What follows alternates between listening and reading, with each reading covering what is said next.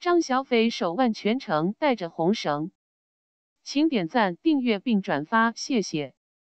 这两天，关于张小斐手腕全程带着红绳在微博上的热度是非常高的，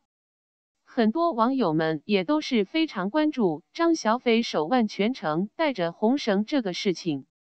为此，小编也是在网上进行了一番搜索查阅相关的信息。